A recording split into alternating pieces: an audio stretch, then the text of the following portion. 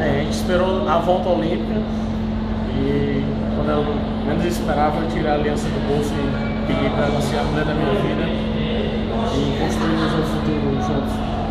É, é uma comemoração melhor pra quem, né? Não, foi inesperado, não, não tava nenhuma pretensão. Bom, o casal Alvinegro aí comemorou com o título. A gente deseja só felicidades os dois aí, sei lá, e com um beijinho, né? É, e a festa continua.